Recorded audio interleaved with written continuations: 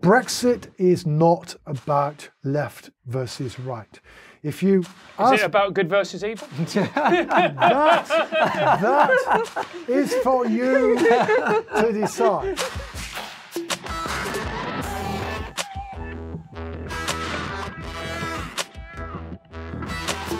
Hello and welcome to Triggernometry. I'm Francis Foster, I'm Konstantin Kisin. and this is a show for you if you're bored of watching people having arguments on the internet over subjects they know nothing about.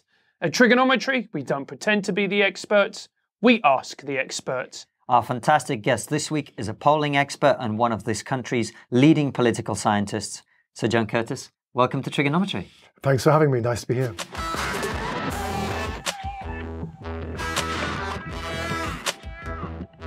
It's so good to have you here. Uh, for anyone who doesn't know who you are, which is not many people, uh, given that you're on, on TV all the time, tell us a little bit about how are you where you are, what's been your journey through life, and what do you do now?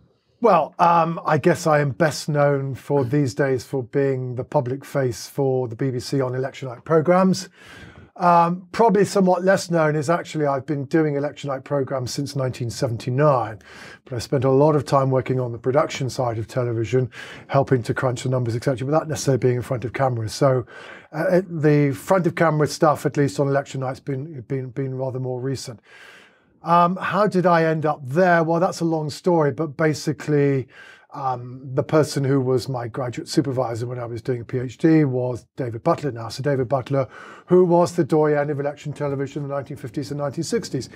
He needed somebody in the 1979 election to sit behind him with a programmable calculator. This is kind of the early days of computing because he didn't quite want to rely on the BBC computer, and he needed somebody behind him who could calculate the swing very quickly for him when a result came in, um, if indeed the BBC computer were to fail. Well, the BBC computer actually didn't fail on the night, but I still got to sit in behind it. And then after that, actually, somebody else who was also involved in the BBC uh, operation called Clive Payne persuaded the BBC, this is now 1981, very, very early days of uh, PC computing.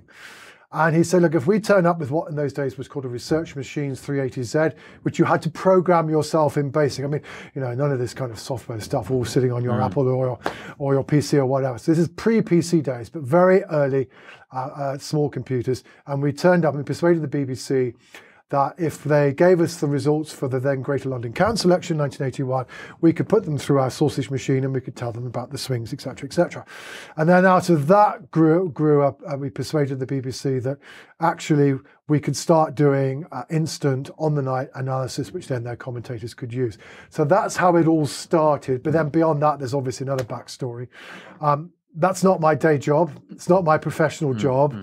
My professional job is an academic political scientist, um, but I'm primarily interested in voting behaviour, electoral systems, uh, but also more generally social and political attitudes. Um, I ended up at Strathclyde basically because that was one of the two institutions in the UK which in the early days of what in political science we call the behavioral revolution, which is the idea that if you're going to study politics, it isn't just about what politicians do or what constitutions say, but actually it's about trying to understand how people behave politically. And that also means the focus moves away from just what happens in parliament or in governments or whatever, but also to looking at the general public. Um, and uh, Strathclyde, and, and that involves, by the way, therefore doing surveys and numbers, etc. Strathclyde, together with Essex, one of the two places that really embraced this early on. So when I was approached by Strathclyde to come and do it, I went, yeah, so that's great. Previously, I was at Liverpool before that. I mean, backstory before that, the question usually people asking was, how is it you got involved, interested in voting behaviour? Answer, don't know. All I can tell you is that my first political memory is of the death of Hugh Gaitskell in what 1962, 1963, and the Labour leadership election that was then that Harold Wilson then won. And remember being allowed to say, this is what the age of 10 by my or 11 by my parents um, to watch the beginning, at least, of the 1964 election night results program. So by this point, somehow or another, at least I got interested in the horse race and the fact there were different political parties. There was a degree of political involvement in my family, and later my mother indeed did become a local councillor, um, but certainly not active party politics. Yes, they used to. I mean, they used to argue. I mean, my, my mother and at least one of her brothers and her father would argue about politics. They were all, all different views. What was the split within the family? well, I mean, my my my fa- my grandfather was one of the early activists inside the Labour Party uh, in Cornwall, and and his and I, and I think my mother's brother was Labour. My mother was much more uh, Liberal Party um, inclined, um, but you know, but you know, they would, you know, they they.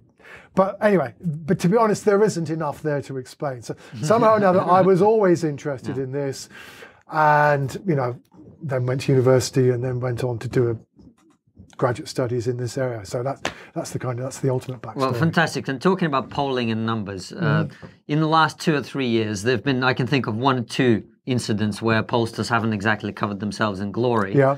I think uh, Trump and Brexit might be good good examples of that. Well, I will question you about both of those. But anyway. Fantastic. Well, question. That's the, that's the, that that makes Triggernometry what it is. Is when we get destroyed by. I guess that's the best. thing. Normally, it's me getting destroyed, so Well, I'm okay. quite enjoying let's, this. Let's, let, let, let's take it. I mean, uh, the 2015 general election is an unalloyed uh, disappointment for the polling industry because not only did, on average, all the polls essentially point towards Conservative and Labour being neck and neck with each other, um, but actually they all did so, and there was very little difference between them. And in the end, I've forgotten what it was now. The Conservatives were you know, five, six, seven, eight points ahead. Um, so that was clearly a wrong call. Um, I'll come back to the to, to the reasons why to the reasons why in a moment. Um, the other examples that people cite are less obvious. So let's take you you, you quoted Trump. Well, actually, be, bear in mind that on average, the uh, polls of how people were going to vote in the US presidential election had Hillary Clinton three points ahead. She won by two points in the popular vote, right? So don't blame the polls for the errors of, if that's the correct word, but how the electoral college operates, okay? Uh, uh, uh, um, uh, Trump won despite not winning the popular vote. Yes, we can then argue about the performance of the polls in certain individual Midwestern states, but I can actually point you to a piece I wrote on polling day itself. I tried to keep out of American politics, but eventually somebody persuaded me to write something and said, look, actually, if you look at the polls carefully enough, yeah, it looks as though Hillary Clinton's got about 250 electoral college votes in the back, but she hasn't got 270. She could lose. Come back to Brexit. Uh, another one you cited. Um, the truth is, if you actually look at all of the opinion polls that were conducted during the official four weeks of the campaign, there were slightly more that had leave ahead than had remain ahead. What is true is that in the, the last few polls, there was something of a movement back towards Remain, although even amongst the final polls, there were two out of the six or seven or so that had leave ahead. But on average, right, Remain were ahead. But what was going on there, remember, is that there was a widespread expectation that the polls would get it wrong. They would get it wrong because we all know, don't we, that what happens in big constitutional referendums is that the public draw back at the last minute from voting from what seems a rather risky option for change. So when the polls, and virtually all the polls the week before the, the, the Brexit referendum had leave ahead. They some of them then swung back, and people say, "Ah, right, we know what's happening. It's obvious that people are swinging back to Remain, and Remain are okay." Well, they didn't swing back any further, and actually the polls had, you know, were, were, were a little bit out.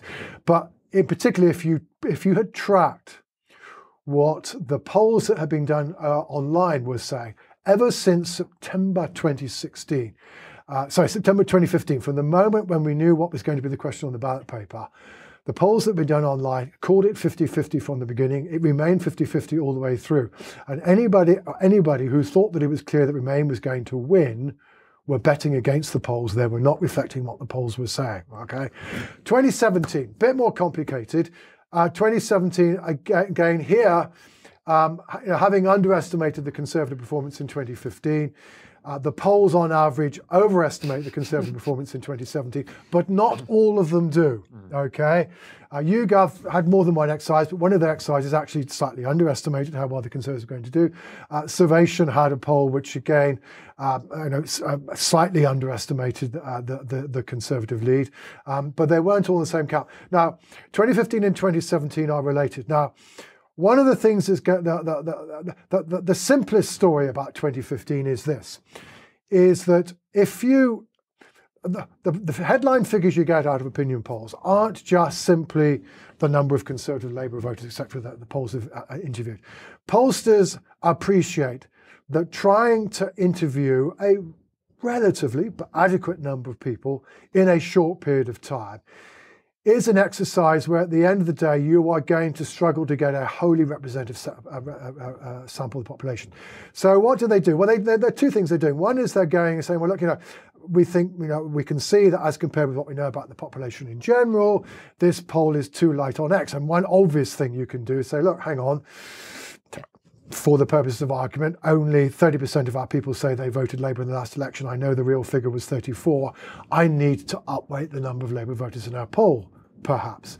Um, so one of the things that they're going on is that they're, they're weighting their data demographically to try and make sure that it's right. The other thing that they're doing is saying, well, hang on, I mean, some of my people I've interviewed are going to vote, some of them are not. I've got to try to work out who is and who isn't. So they also try to take into account the possibility of differential turnout. So in other words, the headline figures you get aren't just simply the unalloyed numbers. They're also then the numbers you get after the data have been processed. Well, the polls did a lot of processing in 2015, but not only was it the case that the headline number in the polls was Conservative Labour, even Stevens. If you went back to the original raw data, i.e., before they'd done any weighting and filtering or whatever, it was also a dead heat. So the truth is, at the end of the day, all the attempts they had for weighting and filtering didn't do anything. What was clear was therefore that the samples were too pro-Labour. Mm. Now, why might this be the case? And this is where life has got more difficult for pollsters. This at least is part of the explanation.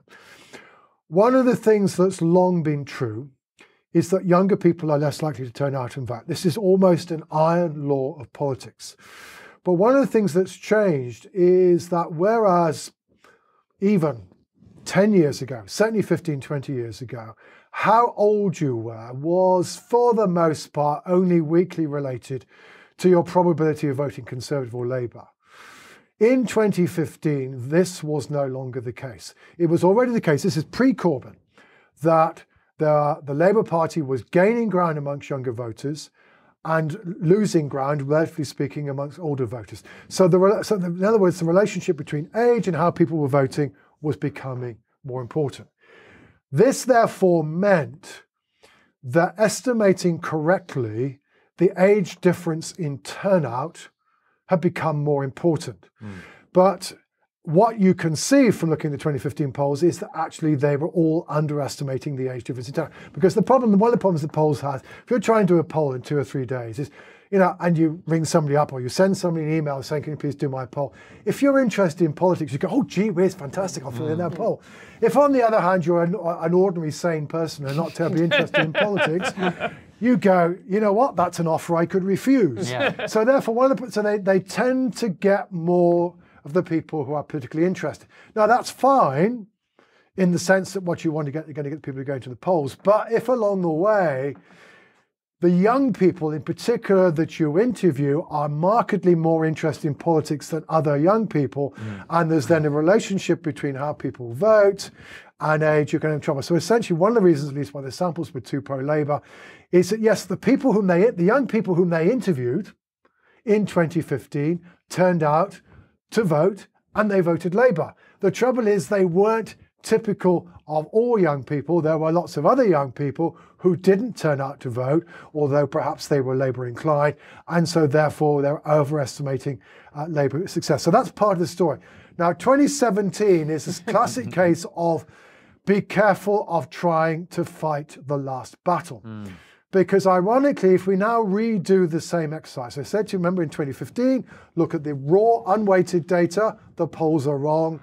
After weighting, the polls are just as wrong. The same is not true in 2017. If in 2017 you look at the raw unweighted data, in most cases it has the Conservatives, uh, you know, uh, uh, moderately ahead, but only moderately ahead. The problem, uh, but, but no more than that, the problem is that um, in 2017, the pollsters were doing all sorts of things to their data to say, look, actually, I now know that those young voters are not going to turn out and vote. I now know I'm at risk of getting too many Labour voters. So they engage in various strategies, which ends up, you know, uh, increasing their, uh, uh, uh coming up with a bigger estimate of the age gap in turnout, of downweighting their Labour voters, and over egging the pudding. So they end up, as a result, underestimating their performance, not because that's what their raw data was telling them, but because in trying to correct for that overestimate of Labour support in 2015, they, uh, uh, uh, they basically overcompensated for the problems of 2015 and what they report in 2017. And ironically, you know, the company that, in terms of using an ordinary poll, that got closest to the result, which is Survation, is the one company that decided not to fiddle from what it did in 2015. So.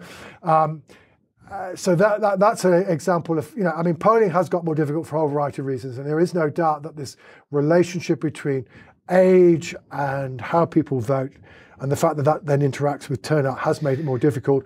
Um, but uh, certainly, um, it's a case of de- demonstrating how it is difficult to get the polling numbers right. Because again, the only thing you have to remember this, and I'll stop. If, if you were if you were commissioning me as a pollster and you said, look, I've got this, you're a comedian, you said, I've got this new comedy show, and you were, you were to do a two minute, um, uh, you know, um, uh, uh, example of what you're going to do.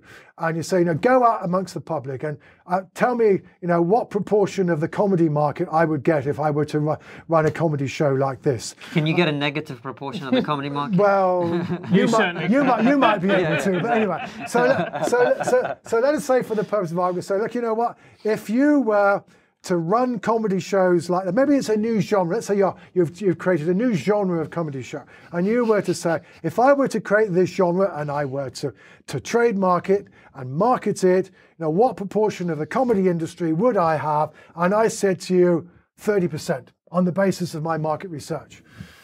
And two years later, you come back and you say, apart from counting all the money you've got, I've got 25% in the market. You'd probably say, that was a pretty good job. Right? You say, actually, you told me I had a marketable product here. You told me how to sell it. Gee whiz, it worked.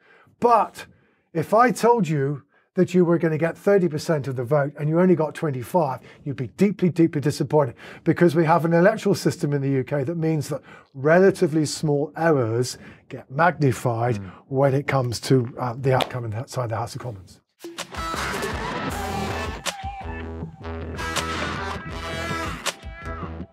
I feel deeply, deeply sorry for pollsters because isn't this the most difficult time ever to be a pollster where you have two parties, Conservative and Labour at the moment, and they're hemorrhaging MPs, therefore hemorrhaging support? You could argue they're not really representing whole swathes of the population. Well, there are two things to say that. One, of course, is to say we've been here before. Um, for those of us who are old enough to remember the 1980s, the fact that a new party has been created um, raises exactly the same polling uh, issues that were raised when the Social Democratic Party was first formed in 91. There was a raging debate inside the polling industry about so, how do we best measure support for this new party? Should we just include it in the list of parties that people can choose among? Or do we say to people, oh, look, by the way, you know, there's been this new party formed, blah, blah, blah, right? Now, how do you think you might vote in the next election? So, in other words, do you or do you not prompt? The danger with not prompting is that people forget that this new party has been formed because it's not yet really in their consciousness, and you end up underestimating their support. But the risk with prompting is you uh, and basically say, well, look, there's a risk of saying, oh, by the way, you know, there's this new party, you know, I mean, I'm sure you're not going to vote for it, right? It begins to potentially to lead people. And certainly we've already seen very dramatic differences in the estimated level of support for the so-called independent group. We've had polls putting them at five or six, not prompted. Others putting them at 14 or 18, prompted. Mm. Truth might be somewhere in between. So this is a, to that extent at least, you know, this is an old problem. This is when new parties get formed, and particularly very early on, and frankly, you know, most voters are not following the soap opera of Westminster that closely, may not even be following your programme that closely. many of them. Um, We're getting dissed left, right, and centre here. That was the nicest burn I've ever received Yeah. in my life. Ouch! is, Ouch! Is, is, is, the, is, Sir the, John destroys Triggernometry. is, the, is the, but I'm sure you have a brilliant and very um, attentive audience. That's even worse. is is is is is that is that the um, is that, you know therefore you know it's going to take a while before actually frankly you know the, the thing is percolated into the public and they've and they've and they've made some sense of it uh, one way or the other. The second point you make about is differently about our political parties. Well, I mean again I could give you another long lecture here, but let me give you the short version. I mean, what is undoubtedly true is that Brexit has proven deeply disruptive because the division between Conservative and Labour in our country, and, and the division that these two parties are basically orientated towards discussing and are relatively com- comfortable discussing, is the division between left and right. So those on the left are those essentially are people who think that society is too unequal and that the government should be doing something about it. Those on the right are those who say, look, at the end of the day, if we're all going to be better off, we need to create the incentives for people to take risks. And that therefore means that at the end of the day, some people who successfully take risks have to be well paid. So, you know, that's a continuing argument in our society about what's the best way uh, to advance. Now, that's essentially the difference between left and right. And that is the division that, for the most part, at election time, you know, if you are right wing, you're more like to vote Conservative. If you're left wing, you're more likely to vote Labour. However, Brexit is not about left versus right. If you Is ask it about good versus evil? that, that is for you to decide. Okay? John, before you go on, this is what happens every time. Both Francis and I voted Remain, but we're both quite concerned about, you know, uh, democracy being thwarted and all the rest of it. But just to annoy a lot of our audience, every time we mention the fact that I mention the fact that we voted Remain, Francis says, Because we're good people. and then we get a massive wall of YouTube comments uh, having a go at us for saying that, and it's now Well, become a joke. I mean, you, you, you, you, you, we're not trying to pin you down, but you, uh, you inflicted on yourself. we have. Uh, we now have people saying, "When are you going to start selling T-shirts which say which say I voted Remain because I'm a good person?" So we'll get there anyway. Well, Ca- well, goodness, goodness is in the eye of the I'm beholder. really glad. I'm really say. glad you, you started talking about it because I was going to ask you about left and right. Right, and right. Well, it, it's Yeah. not a crucial thing to, and, it, and it's widely misunderstood. Brexit was not about left versus right. We weren't arguing in the EU referendum about the role of the state in the hmm. economy and how do we best inequ- inequality. We were talking about immigration, about sovereignty, and what our relations should be towards a institutional phenomenon that can be regarded as an example of the wider process of globalization. Right hmm. They are, and whether or not if, if if I ask you a series of questions about your attitudes towards inequality and incentives on the rest of it, and I do that, it hard it, it does not enable me at all to predict whether you voted Remain or Leave. Left wingers were as likely to vote Leave as were right wingers. Okay, the division in the EU referendum was between social liberals and social conservatives. And this is an argument about uh, what kind of society you are comfortable living in and what kind of society you think Britain should be.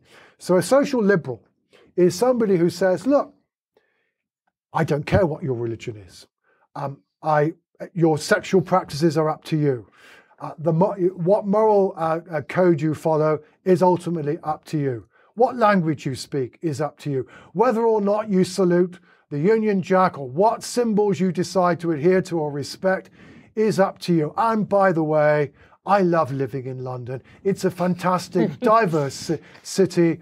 Um, so these are people who are comfortable, and indeed embrace the idea of social di- uh, diversity. They're essentially people at the end of the day say, look, it's up to individuals to decide social and moral code and the religious code, etc., they live in.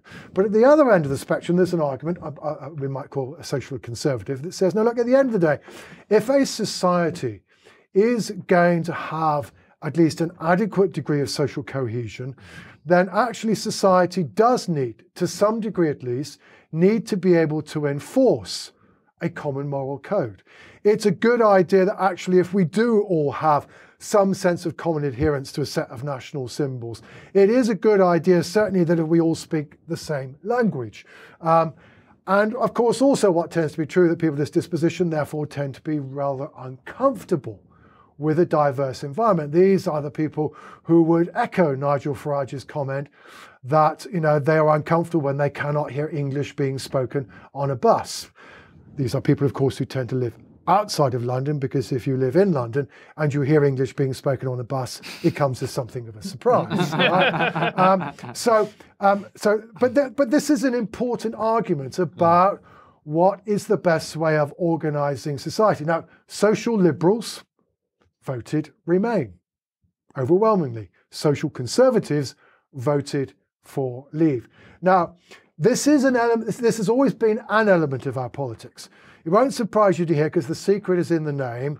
Liberal Democrats have always done relatively well amongst social liberals. They by no means get all the social liberals, but those who vote Liberal Democrat are disproportionately social liberal. And, and Liberal Democrats are more clearly demarcated by their social liberalism than being on the left or the right. Indeed, mm. the Liberal Democrat Party tends to swither a bit on the left right spectrum. You know, sometimes swings to the left and then it swings back to the right and then it swings back to the left again and tends to call itself centrist. UKIP UKIP voters, by the way, are not right wing, or those when the UKIP was mind blown. We're not right wing. UKIP voters don't like inequality, right? Um, uh, there are the, the, bit where they will sometimes de- uh, depart from others is they're not quite sure they trust the state to do anything about it. but remember, UKIPers are people who don't like the way that Britain is going in a whole variety of ways. And it isn't just about immigration, it's also about economic inequality. So UKIPers tend to be on the left, but they're social conservatives. So the thing of, therefore, uh, uh, in, what you would normally have expected in an election in 2017 about Brexit, where you expect the Remainers to go to the Liberal Democrats, and you'd expect the Social Conservatives and the Leavers to go to UKIP. Well, the, the Leavers decided that their best uh, um, chance was going with the Conservatives, and UKIP, look, it was beginning to look like a busted flush. And the Democrats still struggling to recover from the sins, as many people see it, of the coalition. Okay, so the two parties whom you would expect, and indeed during um, uh, you know, much of the previous period have been articulating that social liberal, social conservative divide, were relatively weak. So what happened? The Conservatives lost ground amongst Remainers and gained ground amongst um, Leavers. Their vote, therefore, become, it was always a bit socially conservative, but their vote becomes more clearly socially conservative. On the Labour side, yes, the Labour Party does gain a ground amongst Leavers, but it gains more ground amongst Remainers. One of the things, by the way, that I suspect might now dis, uh, uh, uh, upset many of your audience, in my view, in many ways, Jeremy Corbyn in 2017 achieved what Tony Blair had been trying to deliver for years, which was to deliver a middle class, social liberal, university graduate vote. Corbyn's electorate is much more obviously Blairite than either the Blairites or the Corbynistas would like to believe, because Corbyn was not particularly successful. Uh, or no more successful than Ed Miliband had been in getting left-wing voters in. His success was getting in social liberals. Now, but then the crucial, so therefore what we're then getting, we're getting Conservative and Labour not only now having to articulate the left-right divide with which they are comfortable, but they're now having finding themselves articulating this social liberal, social conservative divide. Around 70% of the conservative vote is socially conservative, right, and is Remainer. Around 70% of the Labour vote is social liberal, and it is it, uh, conservative votes. The Labour vote is is Remainer, mm. um, and given that there is virtually no statistical link, so so the probability that you are on the left in the way that I have defined it is more or less unrelated to whether you're a social liberal or social mm. conservative, right? So we've now got these two dimensions. Now, if you think about it, if you've got two dimensions, all right, and you're going to articulate those two dimensions and they're orthogonal to each other, at right angles to each other, you really need four parties. Yes. Yeah. But it's being articulated by two. So Conservative and Labour are both being deeply disrupted because they are now finding themselves tackling an issue which is not a left right issue um, it's an issue that taps a different set of values, a set of values that they are, are not at heart of what they are about, but which is deeply disruptive of their normal electoral coalitions. And therefore, they are struggling to deal with the issue, as well as the fact we're also deeply polarised about Brexit. So that's the sense in which the party. So the irony is that the success of the party, you know, 2017 was this election in which, ironically, the level of support for Conservative and Labour combined was higher than had been in elections since 1970. But underneath that edifice was the fact that the, the, the base of their vote created both parties really serious problems. And you know, and it's in, the, mo- the most obvious way it comes out is this: at the end, we tend to think of the Conservative Party as being a party that um, promotes the interests of big business, but the electorate that the Conservative Party has gained is a protectionist electorate. It's an electorate that is looking for some shelter from the winds of globalization. Mm. The very globalization process that big business thinks is helping it to uh, to to you know achieve better things and achieve better success. So there's now so the, the problem for this side, the Conservative Party, is this tension between its traditional backers and the nature of its electorate. And you see, you know, you now you now get Conservative. How is it that my party is doing these things that's so bad for big business? But that's the tension it's facing. The tension on the Labour side is, although the Labour Party these days is pretty much, is almost as popular amongst university graduates as it is amongst those in working class occupations, the Labour Party still thinks of itself as a party that represents the working class. And of course, its more working class uh, uh end is more of, of, its vote that tended to vote leave. So you've therefore got this attachment to the more working class end of its vote because that's part of his historical mission. It's the people who they think that they represent. And therefore, uh, there, there, perhaps is a greater concern about the consequences of upsetting that section of his vote, even though it's very clearly a minority of his vote, than would otherwise be the case. So you can see how the Brexit divide cuts across the party's traditional conceptions of themselves and who they think of as being their traditional allies. And Corbyn and uh, the Labour Party have sort of turned their back almost on the Leavers who voted for them by saying that they're going to embrace. I think is it a second referendum that they were talking? Oh, that's a much that's that's far too simple a uh, articulation of whether they were. Your turn to get destroyed, mate. Fantastic. Let's go. The, the Labour Party position is essentially that if and only if Theresa May can get her deal through the House of Commons and the House of Lords. She then has to pass a second hurdle, which is it needs to win a referendum where Remain would be the option. The Labour Party has not committed itself to um, being in favour of a referendum should we get precipitated into an early general election. It still reserved its position on that. And it also isn't saying that um, we are therefore willing to allow Theresa May's deal to go through the House of Commons. Um, so it's uh, it, it's it's a limited move. Um, it's a move that certainly indeed the party has felt it had to make because you know about 60% of Labour voters are in favour of a second EU referendum, and that at the end of the day is the you know is the is the bigger end of its constituency. But it's not gone so far as to come out in an unlawed fashion. And there's a particularly a crucial difference between what the Labour Party is proposing and what um, Peter Kyle and his colleague Wilson um, uh, were, were, were, proposing. So there, I think, was a very adroit uh, attempt to move the debate on. So, that, so the Kyle Wilson amendment, at least as originally drafted, we'll wait and see what comes out next week, was, you know what, we'll let Theresa May's deal go through the House of Commons so that she can have the chance to put her vote, her deal to the public. And I think that's much better policy. I mean, I, I'm pretty critical of the People's Vote campaign because the People's Vote campaign has been so much uh, framed in terms of the people were lied to, um, all these false claims. They now know what it, uh, they now know much more about what it's about. Oh, and by the way, the opinion polls tell us that the Remain are now ahead. Ergo, therefore, we should have a referendum. It's not an argument that is ever going to persuade Leave voters that perhaps we should have another referendum.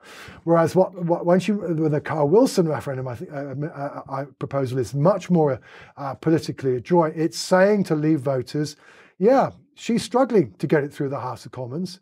Yeah, you don't trust the House of Commons, do you? But this is the establishment ganging up on the Leave programme. We are willing to put it back to you You decide. And I think weeks ago, the, the moment that it was clear that Theresa May's deal was in trouble, the People's Vote campaign should have moved on and they should have tried to reach out to those on the Leave side. But the trouble is, those involved in the People's Vote campaign, I think, are so much the committed Remainers that I think their ideological vision has blinkered to them to what would have been the politically astute move. I mean, not least because at the end of the day, if you're going to get a second referendum, Persuading Labour was one of the steps, but almost undoubtedly not a sufficient step. Above all, you need to persuade sections of the Conservative Party. You need particularly to, to persuade that middle rump of the Conservative Party, which will vote for Theresa May's deal, but certainly won't vote for no deal, and are desperate for kind of for us to get out of all of this, and that this is this is the way out. But you're not going to persuade them by by a, a um, set of proposals that just look like an attempt to reverse Brexit.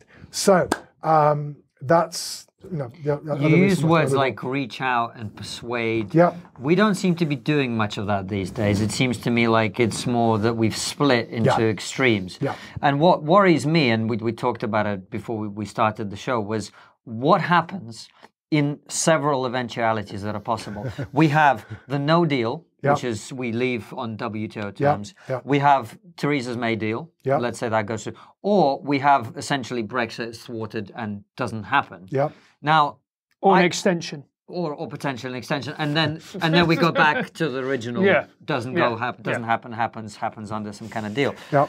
Now, as I look at all three of those scenarios, and then I look at what I perceive to be the mood in the country, yeah. which is going to be a lot less accurate than what you perceive. But nonetheless, if we look at all of that, I can see in all three of those scenarios a very significant group of people who are going to be deeply, deeply unhappy about yeah. what's happened. Yeah. What do you think are the, is the future of this country in those three scenarios, and how the different groups well, in society? I, I mean, I think the first thing to say is that I think whatever we do, we are going to upset people. There is no easy way out of where we find ourselves um, uh, uh, because um, we are essentially polarized. Mm. We're, you know, we are polarized between a, at least up, you know, somewhere between a half and two thirds of Leave voters would, at the end of the day, they either say leaving without a deal is what I would most like to happen, or they say, in some cases, I'm, that's what I'm willing to do. Okay. Around two thirds of Remainers go, I want another referendum. And around three quarters of Remainers, whether they want a referendum or not, at least still say, you know, despite all the other choices around, I'm definitely a Remainer, and most of them say that they would vote the same way. So we are we are deeply polarized. And one of the difficulties about Brexit is that, you know, we often talk about how supposedly what politicians should do is to search for the center ground. Mm. The problem with, uh, but that's based on an assumption. It's based on the assumption that basically, to use the jargon, the distribution of attitudes in our society is unimodal, i.e., there are lots of people in the middle, lots of people you who just are, lost 90% of our Yeah, yeah, okay. Well, I'm just about and to, me and Francis. I'm just about to explain. so there are lots of people, so if we think of it being, a, you know, a, just a left-right debate for the moment, that most people are in the middle. They're neither very left wing nor very right wing. They're centrist, yeah. okay? Mm. And there aren't very many people on the extreme left and the extreme right. right. And the point is that if you are therefore trying to win an election, the argument is you therefore need to go towards the centre because mm. that's where most voters are. Yeah. You might be at centre right, centre left, but you need to be in the centre. The trouble with Brexit is, in my view, is the distribution is completely different. It's it's U-shaped, mm. right? So there are lots of people on what we might want to call the extreme leave end of the spectrum. Mm-hmm. There are lots of people on what we might want to call the extreme remain end of the spectrum, and there aren't that many people in the middle. Me and Francis. yeah. That's it. And well, wherever you find yourselves, if you're in the middle, you're rather lonely, I'm afraid. Yes. Yeah. Um, and you see this, I mean, so the, the irony of, of what's been going on, I think, is that both Theresa May and Jeremy Corbyn, in their ways, have been trying to find a Brexit compromise. Not least because of the reasons I've been explaining about how Brexit divides their parties and causes them such tension. You know, Theresa May's compromise, which is what her deal tries to encapsulate, is well, look, I've got certain fixed lines. I think we have to get out of freedom of movement because of the concerns about immigration. Um, we, uh, we've got to get out of the European Court of Justice because of the concerns about sovereignty. And we should be able to make our own trade deals, which again is partly about sovereignty and partly an argument about whether or not the EU is or isn't a protectionist organisation, which is a very, very long running debate.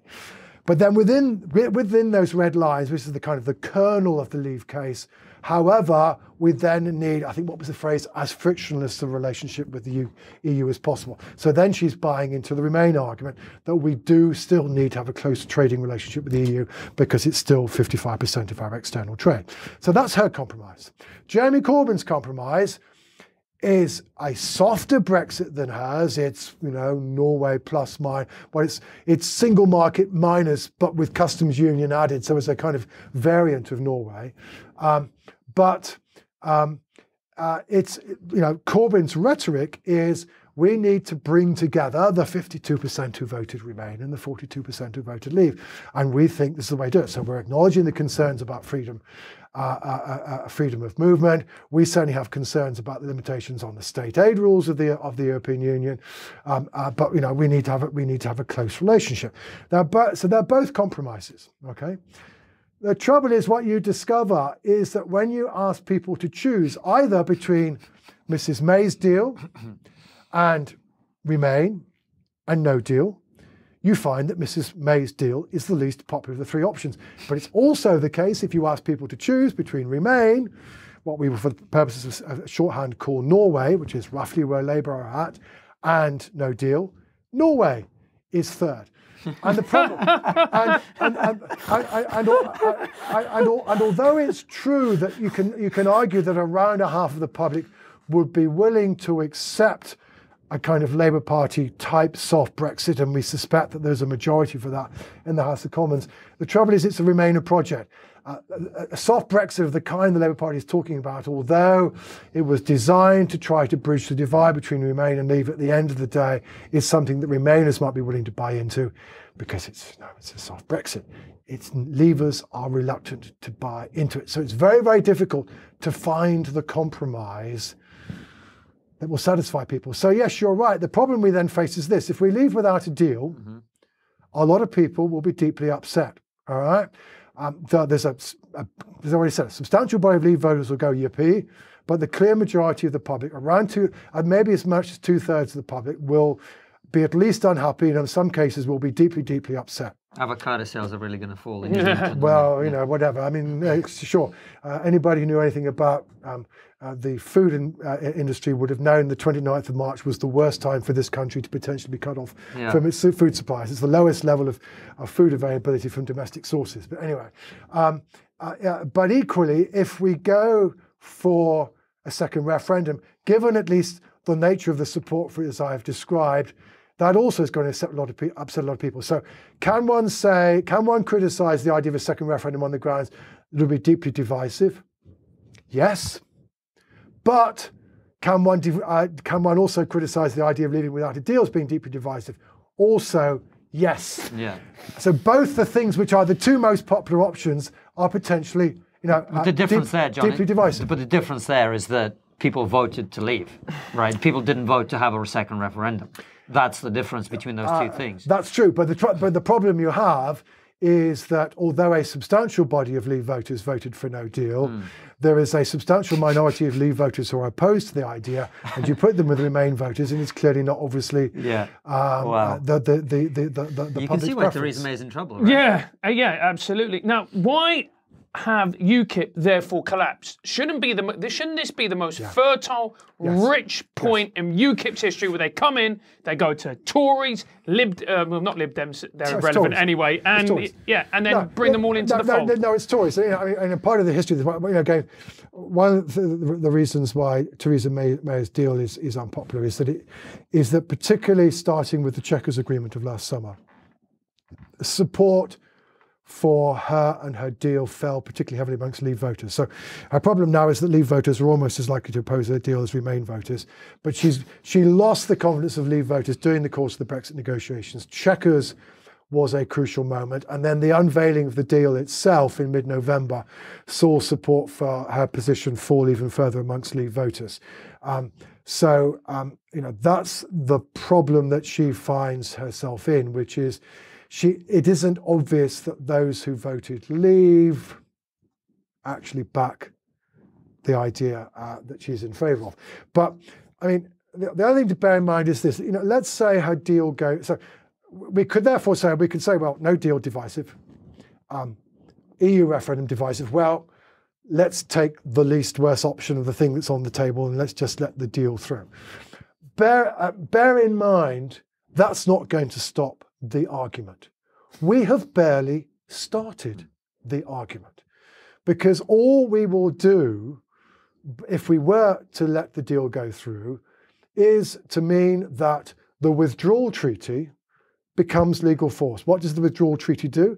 It protects the rights of EU citizens. It commits the UK to paying roughly 39 billion quid for the next two or three years into EU coffers. Um, and it's got the provisions about the so-called Northern Ireland backstop to try to avoid any risk of there having to be a border between the north and the south of Ireland. Nothing else. We've not talked about whether what I mean the political declaration say, says the UK doesn't want to be in freedom of movement, and we recognise that. But the political declaration, is, the political declaration essentially says, look, how much, how close a relationship the UK has will depend on what rules the UK is willing to follow. Now, if it's not willing to do freedom of movement, it won't be able to be in the single market. And if it's not willing to follow ECJ rules and be in the customs union, then certainly um, it, sorry, um, it, it, it, that also limit its options. But beyond that, it doesn't say anything. We, for, you know, it doesn't settle those basic things like European health cards, mobile phone calls, um, uh, what actually would be the what, what relationship with the single market we have, what regulations we're going to follow, etc., etc. And we're going to carry on arguing for at least another two years until the end of the transition period, may well be longer. And for example, I fast forward for you. It is October 2020. Somehow, or you know, the government, we've still got the current government. Somehow or another, Theresa May's got a deal has gone through. We now have a new deal, maybe not negotiated by Theresa May. Maybe she resigned after the, uh, shortly after the end of the, uh, we left the European Union, and the Prime Minister is struggling to get his or her deal through the House of Commons because they don't like the new proposed treaty on our relationship with the European Union. We could go through the whole of this cycle again because at that point we will be defining many of the things about our future relationship that at the moment people are worried about. So, why are people concerned about the Northern Ireland backstop? Well, the essential reason I think is because it potentially constrains the free trade deal that we can have. It pushes it pushes us towards having a closer relationship than some Brexiteers would like. Um, but we've not had this argument. So look forward to more and more. So, the, so frankly, even if Mrs. May's deal goes through, well, A, it's going to go through grudgingly, but it'll still be divisive because we're still going to be arguing about whether or not we should be coming out of freedom movement, what are the consequences, etc., etc. This is going to be a very long-running story. There is no avoidance of division on Brexit because it's we fa- re- resolving Brexit is a very very difficult issue. Do you think it was a mistake the referendum? Well, um, I understand why it happened. and put it like this: it was. I mean, I, I will say two things. I mean, at the end of the day, um, it's very difficult to sustain a set of political arrangements, which basically, you know, by which I mean giving people authority to make the law of the land. All right. It's very difficult. So, this is a question about whether it's very difficult to continue to maintain a set of arrangements that says institution X has the authority to determine the law for this bit of territory. It's very difficult to do that and continue with those arrangements if the people to whom the law applies do not regard that institution mm. as being a legitimate source of authority. You know, we had this debate in Scotland in 2014 about whether or not it was legitimate for the United Kingdom to be able to make the law for Scotland or not. And again, the argument here at the end of the day is that, you know, is it legitimate for the European Union to be able to make some of the law for the United Kingdom because we are sharing our, you know, sharing our sovereignty. And, you know, and the fundamental failure of the European project in this country, in my view, is that it failed to instill in the UK population the sense that we are European. And at the end of the day, what tends to underpin a willingness to share a, a set of uh, uh, political institutions is a common sense of identity. So, why, you know, albeit with some considerable fraying at the edges in Scotland and Northern Ireland, for the most part, the majority of the population in the UK accept the authority of Parliament and government, etc. Well, because in part we feel British. So we're all us. Okay. The problem for the European project in this country is that only around one in eight of us or so feel European. Europe is other. And therefore, it was always impossible for basically to use the, the, the simple um, colloquial lingo why are Brussels bossing us about? Because Brussels is not us. It's that funny place on the other side of the English Channel of which we do not feel part. The, they are the Europeans. We are the Brits. All right. So that's a fundamental issue of identity. And you know, you can look at the European Union's own Eurobarometer data, and we are the only country together with Greece where a majority of the population at the moment deny deny that they are European. Okay, so that so the truth is, you know, we've never been more than semi-detached members of the European Union. We've been in it for what we could get out of it. And when during the last 10 or 20 years we have experienced, by our own historical standards, very high levels of net inward migration, and the brutal truth is that with freedom of movement you cannot control immigration, this presented a potential problem of legitimacy. So that, that, that's the big answer to you. Now there's the small answer to you, which is whether David Cameron got his tactics wrong.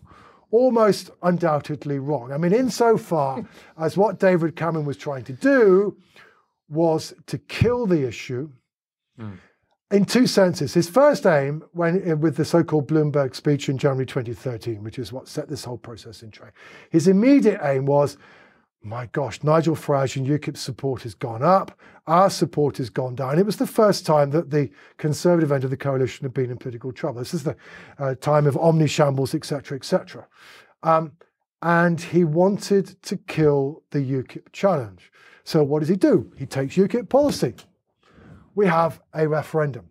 But he does so in the expectation that he's never going to have to deliver because he's in coalition with the Liberal Democrats, who certainly aren't willing to have a referendum um, on, on, on, our membership at the moment, and who were always blocking any attempts to pass one after Cameron's promise, etc., etc.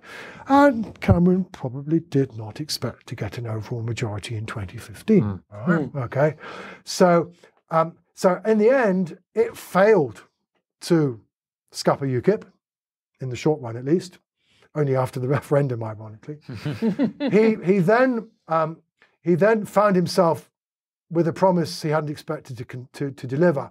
I, th- I think he then made a third mistake, and the third mistake, from his point of view, was that he rushed at it too quickly. Um, he was clearly wanting to move on. He had a, substantial domestic agenda he wanted to pursue. Like he's already time limited his premiership as being, being back 2019, 2020. He told us we were, he wasn't going to go for another term.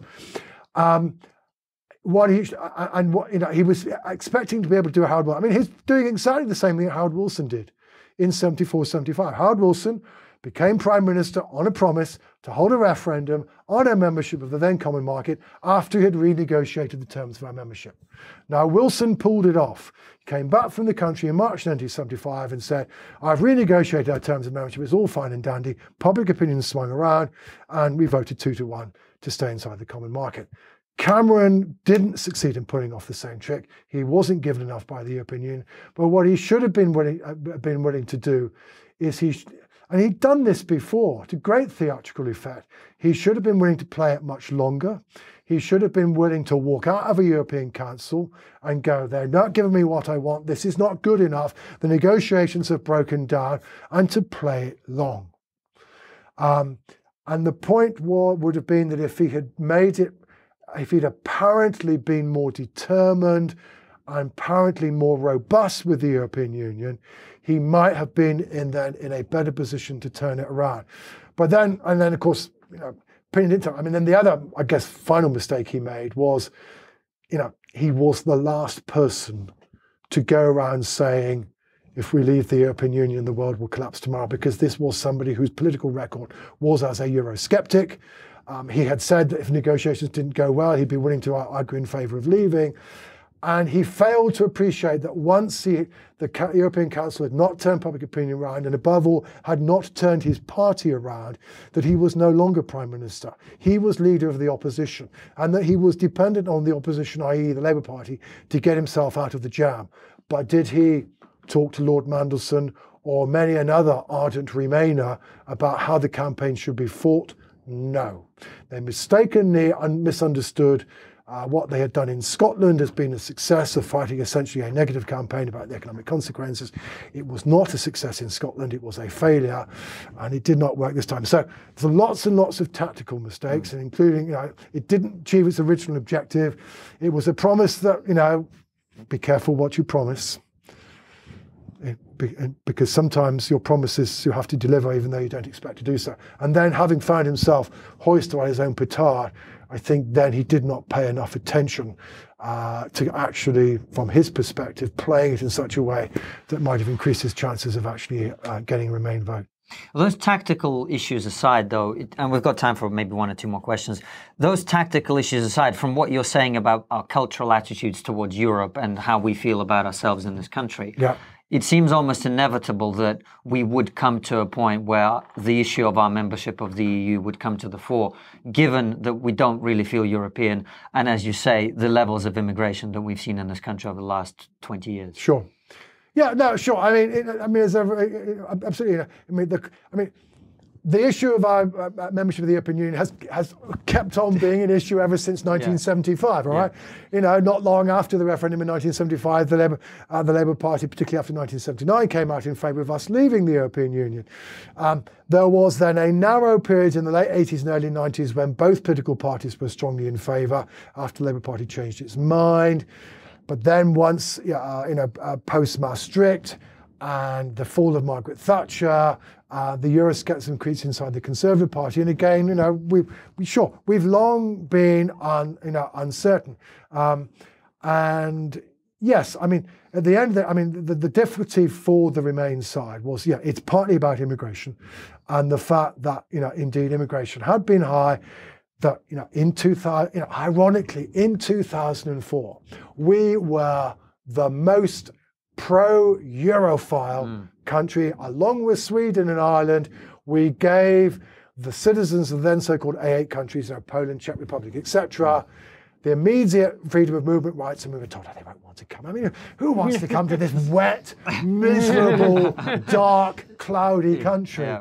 You know, it's us who want to go to live by the mm. Mediterranean. Mm. No. Of course, they came and the Polish plumber became, et cetera, et cetera. Um, and then, of course, in 2010, Cameron said he was going to get net migration down to less than 100,000. We've never got anywhere near. So there's that sense of failure. So that's one of the problems. The other problem, however, is, is of course, is also the fallout from the financial crash and the Eurozone crisis. Back in 20, 1975, it was very, very easy to argue why the UK should remain, as it only just recently joined the then Common Market. It was the six original members of the Common Market have enjoyed much higher and much more sustained levels of economic growth than we have. We have been the sick man of Europe. Mm. You know, as soon as we turn on the taps of public spending, inflation goes up. As soon as we turn them off again, unemployment goes up. We have this stop go economy. Well, by 2016, rather than being portrayed as an unalloyed economic success, the European Union's economic credentials were, at least shall we say, more debatable. Mm. And the Eurozone you know, and how the crisis had been dealt with raised questions about you know, its effectiveness as an, as an economic organization. And although this country did take a pretty big hit in 2008, it was certainly coming out of the financial crash much more quickly than particularly many a Southern European European Union member. Ergo, the economic case was more difficult to argue. So, yeah, so given that our relationship was always a transactional one, mm. economic argument, more problematic. Immigration argument, well, it was never there in 1975. Now, and then you've still then got the continue that those who never ever accepted the idea that should we be in the European Union in the first place put all that together, and yes, it becomes problematic. And how much do you do you think that that vote was a rebellion, which is what people have classed it as, as a working class people giving two fingers up to Cameron and the ruling elite, as it were? I think, I mean, it's, it, it, it's fair to say that um, certainly a populist narrative is also part of the mix.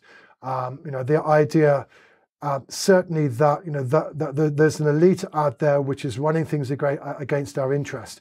Um, I wouldn't use the language of class; I would use the language of educational background. Mm. Um, but certainly, um, you know, again, if you uh, you know listen to Leave discourse, it's about how the true the the interests of ordinary people are being um, you know uh, uh commandeered, are being distorted by you know the liberal establishment who tend to be university graduates who've had this wonderful liberal education the rest of us have paid for etc etc um, uh, so there's the sense of being dis- you know, being distorted not only by the state but also distorted by those in in big business. You know that's certainly part of the sentiment.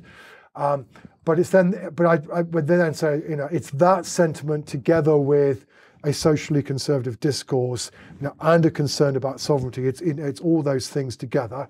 But yes, given that we are talking about a situation in which you know, we are having, I think, you know, behind all of this, this, we are having a debate about the process of globalization.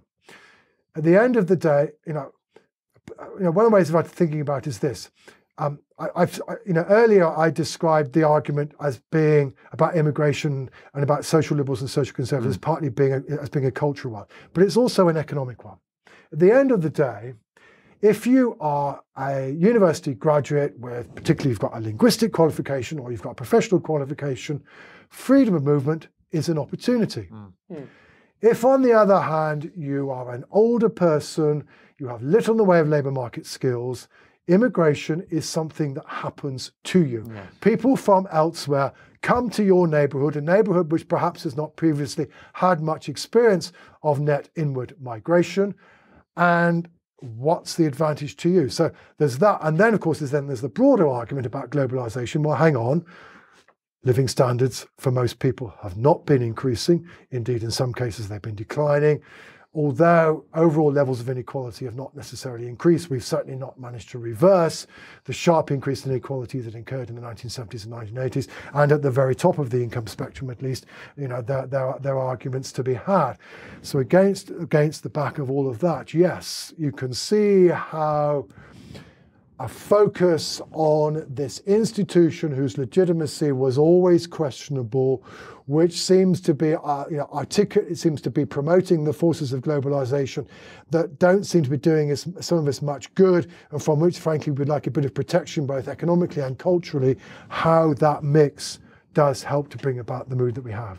Well, we have time for one final question, mm-hmm. which is the question we always ask, which is what is the one thing that we're not talking about as a society that we ought to be talking about? Well, this is still going to be about Brexit, but we've spent the last hour or so talking about Remainers and about Leavers. Yes. But if we were to have another referendum, at the moment it looks as though the crucial group could be those who did not vote in June 2016. So we do lots of polling data. Remainers think this, Leavers think this. Well, 30% of the population didn't vote in 2016. Some of them, and, and there are now people who were 16 and 17 in 2016 who now could vote.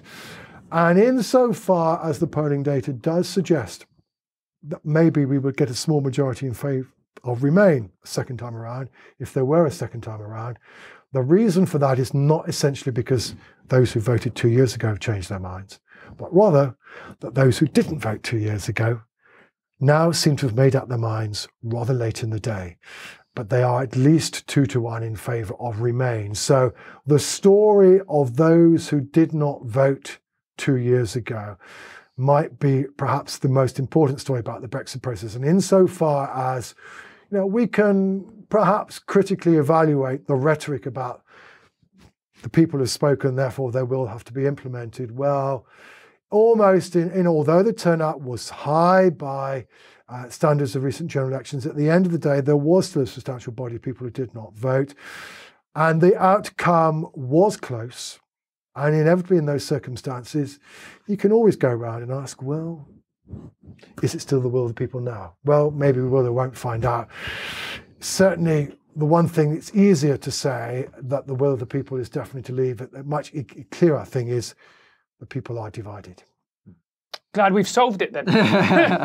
well, uh, Sir John Curtice, thank you very much You're for welcome. coming on the show. Uh, you mentioned Twitter. Are you on Twitter? Do you use it yourself? I have two institutional accounts. So I have at what UK thinks, in which I promote and occasionally comment on um, attitudes towards Brexit. Mm-hmm. And I also have an account called What uh, What Scots Think, which is about um, public attitudes towards the constitutional debate in Scotland. And they're associated with two websites that follow uh, these two stories. I also saw there's a Twitter account which uh, which is called something like Sir John on TV. Indeed, there is a spoof account. Um, where uh, uh, the, the, the story behind that's very, I, I think I, I know, it's, is that um, on the 18th of April 2017, which is the day that Theresa May announced the 2017 general election, I was sitting quietly in an office in Edinburgh where I, I work one day a week. It was the Tuesday after Easter, thinking, oh, you know, nice quiet day, I can get on with things. The phone won't ring, you know. And I get rung up by the news channel, BBC, and they say, um, the Prime Minister's about to make an announcement. Um, we're not quite sure what it is. We're not sure whether saying she's ill and she's resigning or what, or, but maybe there's going to be an election. So I said, I tell you what, get me a cab. I'll go down to the BBC studio in Edinburgh. And if it's about something else, I'll just quietly go away. And if it is a general election, I'll be there. Well, of course, it's about a general election. You know, three hours broadcasting later, I managed just about to escape in order to pick up my belongings from where I'd left them, come back again, do about another two hours of broadcasting. And I think there probably was a non insubstantial body of people, or at least somebody on Twitter, who went, Why the hell is this guy on a TV all the time. Well, I just happened to be in the wrong place at the wrong time. But I think that's when it started, and then it's kind of, uh, you know, it's kind of mushroomed after that. But to give you some idea of how recherche this group of people can sometimes be, I'm certainly aware that on one occasion, I think it was just after the 2017 election, I did something for Flemish television. You know, you know really big audience in this country. Somebody watched it. oh, fantastic. And we are, as always, at TriggerPod on all the social media. Subscribe to the YouTube channel, click the bell button next to subscribe button, uh, and give us a review on iTunes. We will see you in a week from now with another brilliant episode. Thanks, guys. See you next week.